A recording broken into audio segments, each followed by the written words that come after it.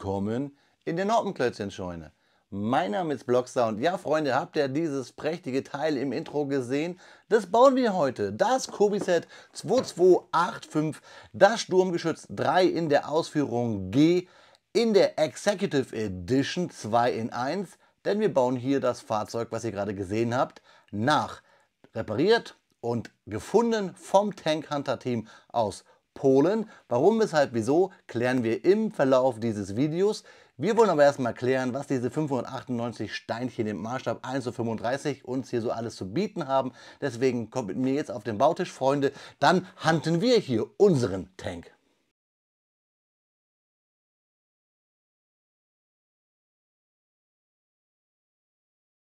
Da liegt sie, unsere Executive Edition, das Kobi-Set 2285 aus der Historical Collection World War II. 598 Steinchen und zwei Minifiguren. Unser Sturmgeschütz 3 Ausführung G in der 2 und 1 Version, denn wir können das Fahrzeug einmal mitschürzen und ohne bauen. Und natürlich haben wir hier unser Tank Hunter Team. Und ich habe es euch gesagt, hier kann man es sehen, Maßstab 1 zu 35. Leider ist der Karton etwas kaputt. Schauen wir uns die Rückseite an. Da sehen wir das Fahrzeug vom Intro noch einmal. Das ganze Fahrzeug wird 21 cm lang und 11 cm hoch, je nach Geschütz. Wir können die Luken und die Motorklappen öffnen. Und hier haben wir unsere beiden Figürchen, unsere Vorbilder, die realen Mateusz Delling und Pretschmek Budzik. Liebe polnisch sprechenden Menschen, seht es mir nach. Ich verlinke euch den YouTube-Kanal unten in der Videobeschreibung. Die Fakten, die bekommt ihr natürlich. Und hier das, was ich euch noch anmerken möchte, das einzige Sturmgeschütz 3 Ausführung G in Polen, was noch voll im Einsatz ist, wurde im Frühling 1945 in einem Fluss in Polen gefunden. Und ich finde, wir wollen jetzt auch wissen und finden, was sich hier an Klemmbausteine in diesem Set verbirgt. Deswegen gehen wir jetzt mal hier auf Panzersuche. Ja, Freunde, nicht in einem Fluss, sondern auf dem Bautisch. Unsere Steinchen, Tüte 1, Tüte 2 und Tüte 3 mit einem mickrigen 1x2er Stein.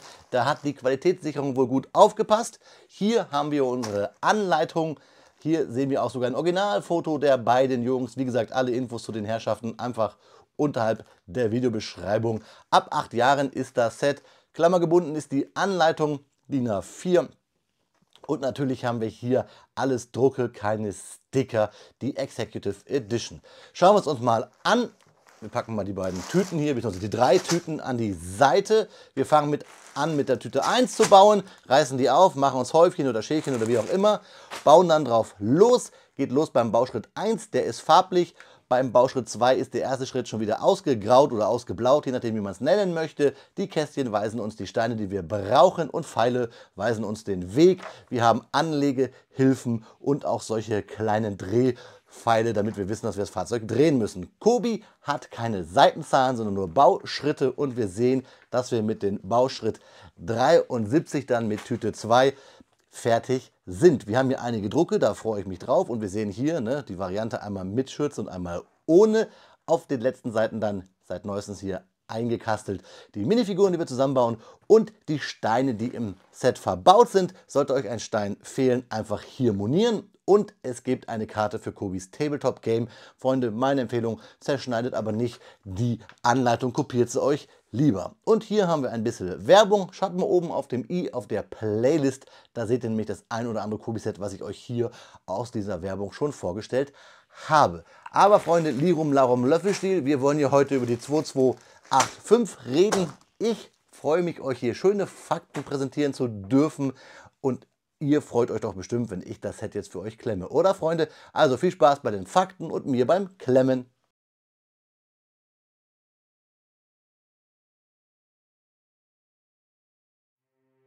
Speedbildzeit ist Faktenzeit. Und natürlich sprechen wir heute über das historische Original, über das Sturmgeschütz 3 in der Ausführung G. Das Sturmgeschütz 3 Ausführung G, auch als Stuck 3G abgekürzt, markierte eine bedeutende Evolution in der Reihe der deutschen Sturmgeschütze während des Zweiten Weltkriegs. Mit einer bemerkenswerten Kombination aus Feuerkraft, Mobilität und Robustheit erwies es sich als entscheidendes Instrument auf dem Schlachtfeld. Besprechen wir ein wenig die technischen Spezifikationen. Das Sturmgeschütz 3G verfügte über eine Besatzung von vier bis fünf Mann, darunter ein Fahrer, ein Richtschütze, ein Ladeschütze und ein Kommandant. Die Hauptbewaffnung bestand aus einer 7,5 cm Stuck 40L schräge 48 Kanone, die sowohl Panzerabwehrgranaten als auch Sprenggeschosse verschießen konnte.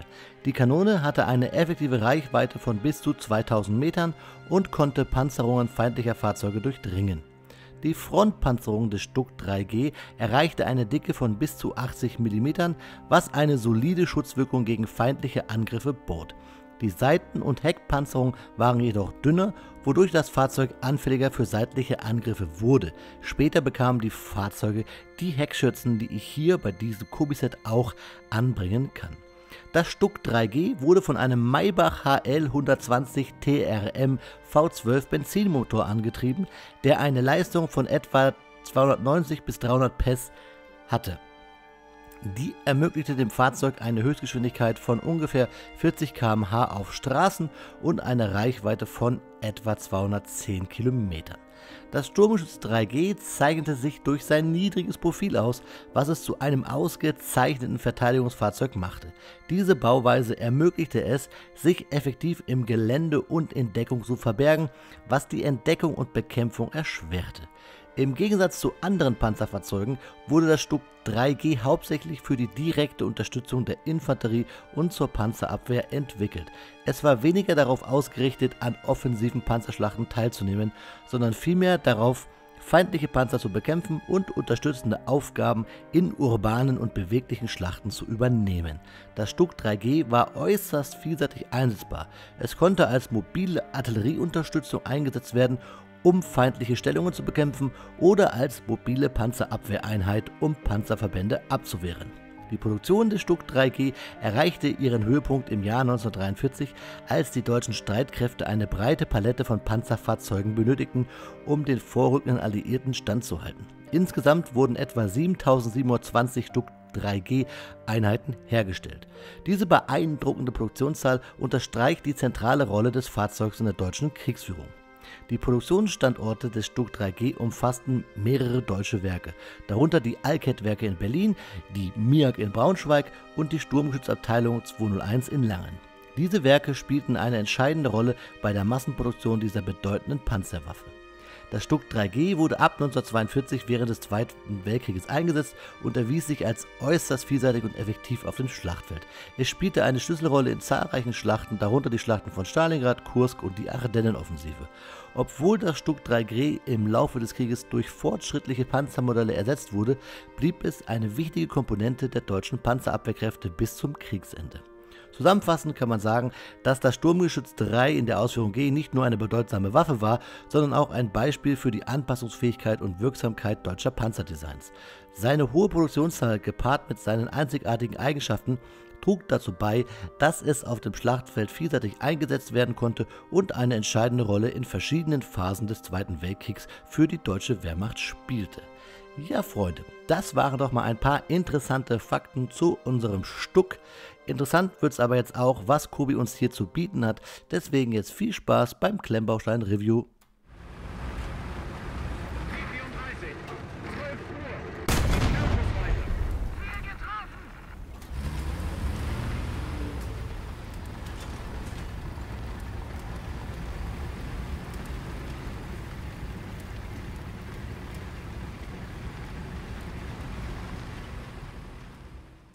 Eine Stunde und 40 Minuten hat es gedauert, bis unser Sturmgeschütz 3 in der Ausführung G, das Kubiset 2285 aus der Historical Collection World War II in der Executive Edition hier auf dem Bautisch steht.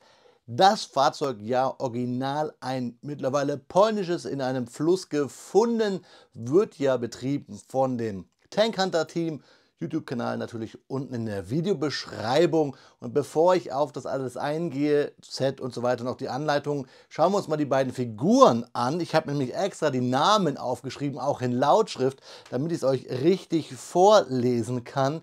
Wir haben hier nämlich Mateusz Dilling und Cemek Budig. Und das sind die beiden Betreiber des Kanals und ich muss mir wirklich das Cemek einmal in Lautschrift aufsprechen. Ich weiß, der ein oder andere Pole schaut ja hier zu und deswegen wollte ich mir ein bisschen Mühe geben. Schauen wir uns die Figuren an. Natürlich wie immer gibt es die Figuren auch rechts in groß und hier sehen wir schon das Tankhunter Team und natürlich wie es sich gehört mit Kamera hier mit Bart und Brille, braune Hose, schwarze Schuhe und hinten Kapuzenhoodie mit The Tank Hunter Team, beziehungsweise Tank Hunter Team. Finde ich eigentlich ziemlich cool. Es ist schön, so zivile Figuren dabei zu haben und vor allem ja YouTube-Kollegen.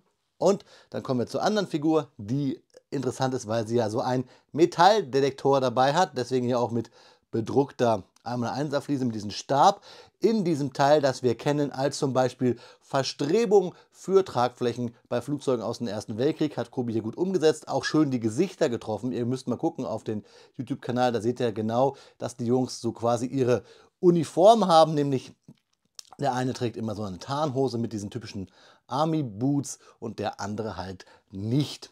So, und auch hier die Rückseite schön bedruckt und man sieht auch hinten schön hier kurz geschorener Nacken. Also zwei schöne Minifiguren und ich finde es vor allen Dingen cool, dass wir hier so eine ähm, 2x2er Jumper haben für die Figuren. Also ich sage es ja immer wieder, Kobi macht das gerne für Sets, die irgendwie polnischen Bezug haben.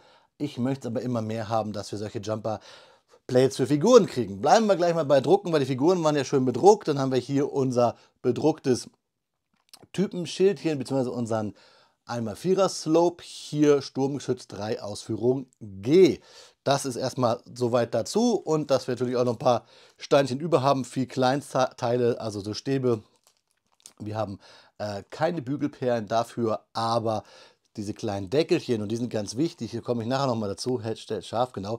Denn hier haben wir einmal Kobi draufstehen und auf der anderen Seite, das sieht man jetzt vielleicht, na nicht so gut, ich versuche nochmal scharf zu stellen, da ist ein, so ein Dollarzeichen drauf und das verbaut ihr nachher im Fahrzeug. Und dann würde ich darauf achten, Freunde, dass ihr Kobi da stehen habt. Weil ich finde es irgendwie komisch, wenn man nachher einen deutschen Panzer baut, dieses kleine Plätchen, diesen, ja, wahrscheinlich wird dieses diese Form halt auch für Geldstücke bei Kobi benutzt. Und wenn man dann oben so ein Dollarzeichen drauf hat, sieht das ein bisschen blöd aus. Ja, kommen wir zum Fahrzeug. Wie gesagt, eine Stunde 40 und ich muss sagen, ich finde irgendwie ist dieses Fahrzeug so ein bisschen so ein Schnellschuss, glaube ich, weil ähm, ich habe ziemlich viele Spaltmaße. Ich finde auch, dass die Angusspunkte hier sehr markant sind und es verzieht sich auch. Und ich habe auch ein Problem zum ersten Mal so ein bisschen mit einer Anleitung, weil ich finde sie ein bisschen wirr. Und das hat vielleicht damit zu tun, dass ich vielleicht schon zu viele Kubi-Anleitungen gesehen habe. Aber ähm, ich baue mal hier von oben nach unten und dann baue ich hier wieder von unten nach oben. Und äh, da habe ich so ein bisschen meine Probleme mit gehabt, das zu erkennen erstmal. Äh, auch, dass ich hier quasi einmal das baue und das baue. Ähm, hier wird es ja angedeutet, aber äh, das dann jetzt, das habe ich auf den ersten Blick halt nicht erkannt. Ähm, was aber eigentlich auch ganz gut ist, denn so hält es einen ja wach und wird auch nicht langweilig, aber ähm, ja, ich, ich fand es halt auf den ersten Blick, habe ich ganz oft gedacht so, hä? Mag aber auch an mir liegen, weil immer dieses mal so, mal so, mal so. Wie gesagt, hält wach, aber ich fand es ein bisschen nervig es war mir nicht sofort klar. Und beim Bauen, wenn man so ein bisschen über die Anleitung nachdenken muss, ähm, ja, dann macht es nicht so Spaß. Aber geht vielleicht mir nur so, also ähm, vielleicht ist auch eine Logik dahinter, aber hier hat es mich ein bisschen genervt. Und ich sage euch auch gleich, warum es mich genervt hat. Erstmal hier nochmal die beiden Jungs hier auf dem Foto hier vor ihrer Bude, was Museum Panschene heißt bestimmt, äh, ja, Panzermuseum. Also da kenne ich sie zu wenig, muss ich sagen.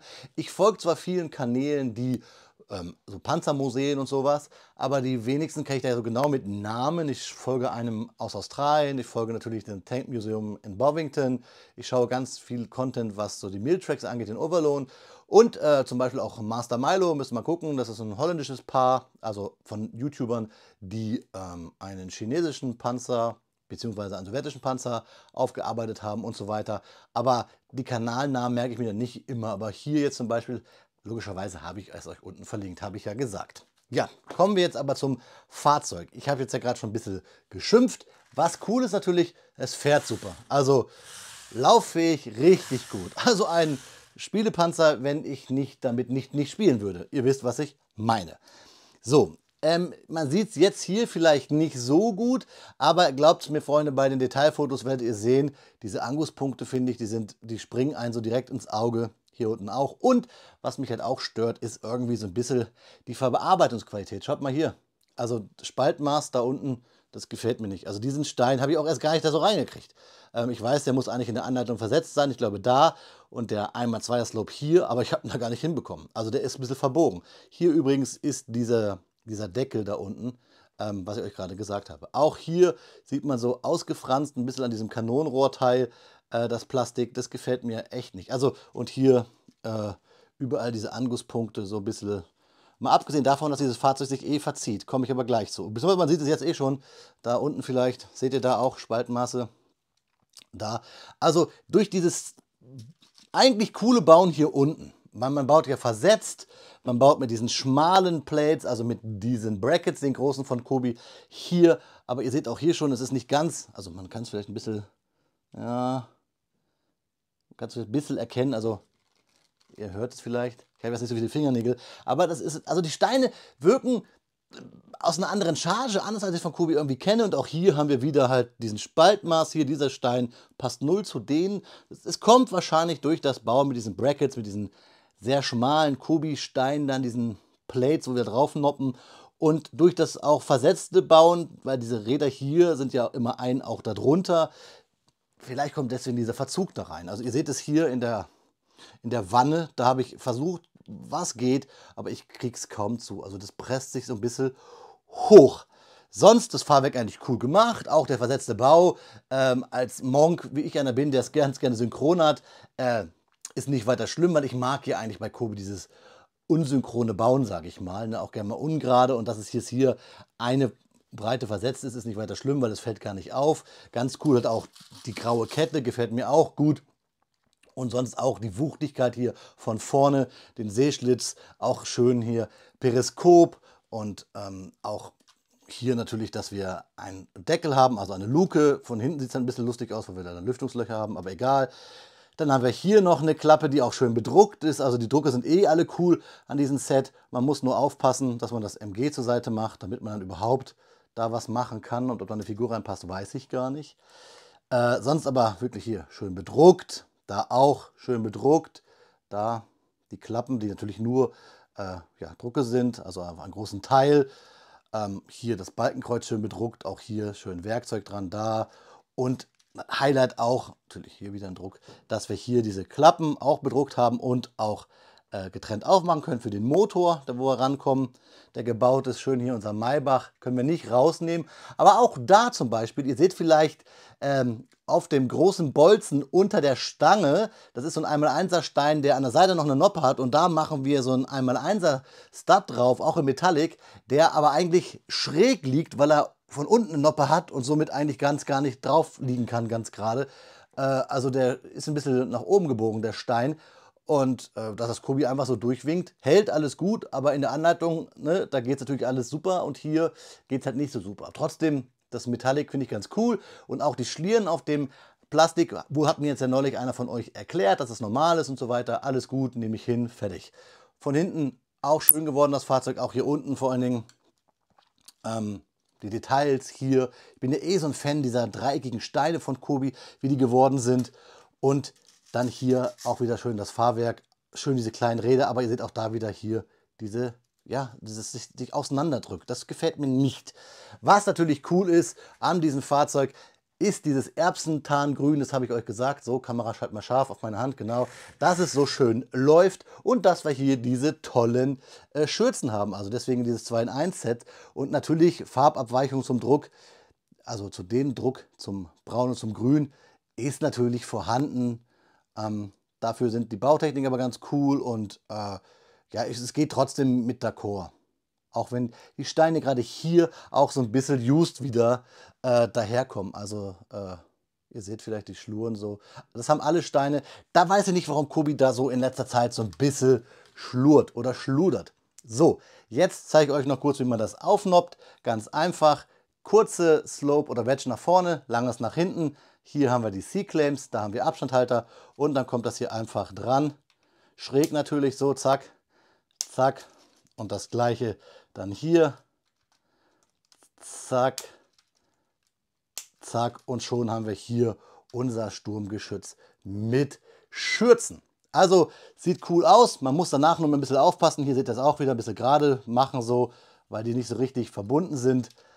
Aber es sieht gut aus und ihr wisst ja, oft ist das Aussehen dann halt das Wichtige. Und ach ja, hier seht ihr, so ganz gut hält es nicht. Da muss man hier nochmal nachdrücken. Aber nicht zu doll, denn sonst drückt man durch. So, jetzt aber. Und es läuft. Und das finde ich wirklich cool, Freunde. Scharf schalten. Und jetzt hier. Also er läuft wirklich gut.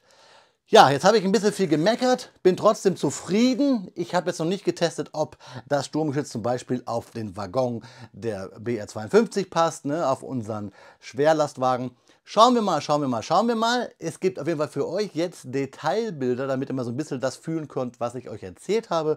Und dann schauen wir uns zum Abschluss noch einmal in die Augen. Ich besorge so einen Anhängerwaggon und dann schauen wir mal, ob das Fahrzeug da drauf passt, liebe Freunde.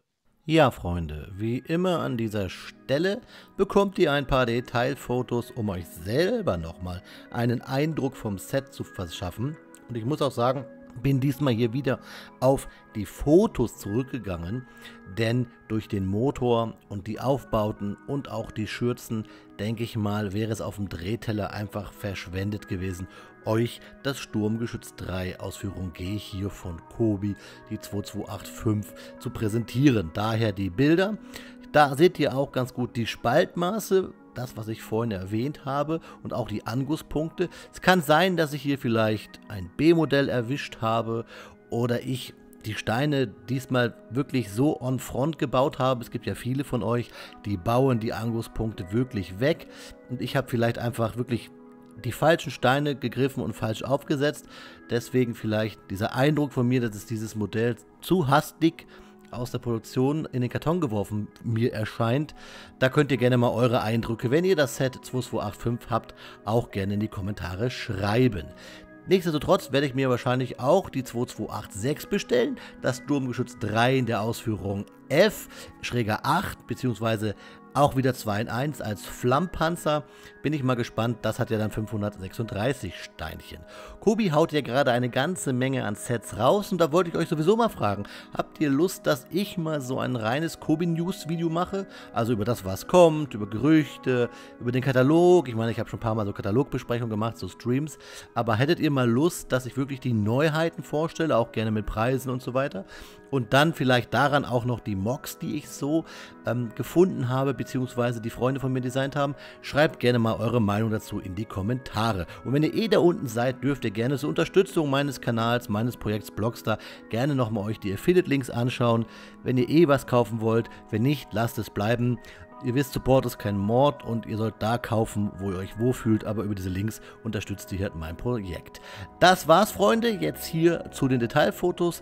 Euch jetzt aber noch viel Spaß bei meinen letzten Worten. Ihr wisst, was jetzt kommt. Das Video ist so langsam zum Ende gekommen.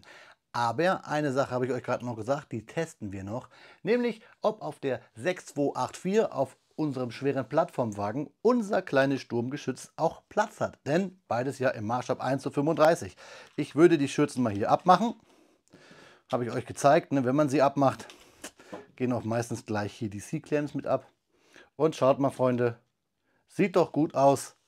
Ist hier quasi transportfähig, passt also drauf. Endlich finde ich ein richtig gutes Fahrzeug, was wir auf diese Waggons auf diesen schweren Plattformwagen auf der 6284 packen können. Video findet ihr übrigens oben auf dem i auf meiner Kobi Playlist. Ich habe euch gesagt, ich finde dieses Set hat so ein paar irgendwie Produktionsmängel irgendwie. Diese Angusspunkte habe ich so noch nie so massiv gesehen und diese Spaltmaße, ich weiß nicht, vielleicht kam das Set zu früh raus, vielleicht musste hier irgendwie was koordiniert werden mit den Jungs auf dem YouTube-Kanal, keine Ahnung, ich weiß es nicht. Wobei ich auf dem YouTube-Kanal von denen noch nicht dieses Set irgendwie gesehen habe. Aber vielleicht kommt das ja noch. Was ich aber cool finde, ist, dass Kobi so eine Kooperation macht, weil das lässt mich ja träumen. Nur noch 80.000 Abonnenten, dann könnte ich vielleicht auch hier so ein Set irgendwie quasi als Minifigur aufhübschen. Was meint ihr? Kleiner Spaß. Ich möchte eure Meinung zum Set gerne hören. Schreibt es mir unten in die Kommentare. Schaut doch gerne in der Videobeschreibung, wie gesagt, weil da gibt es die Links zum Tank Hunter Team und wo man dieses Set noch so kaufen kann und, und, und. Ihr kennt ja diese ganzen Geschichten. Und wenn ihr dabei seid, vergesst nicht, den Kanal zu abonnieren oder jemand anderem von mir hier aus meiner Noppenklößchen-Scheune erzählen. Vielleicht gibt es da draußen ja auch noch den ein oder anderen anonymen Kobi-Klemmer. Ich würde mich freuen. In diesem Sinne, Freunde, habt eine schöne Zeit. Auf Wiederbauen, euer Freund, der Blockstar.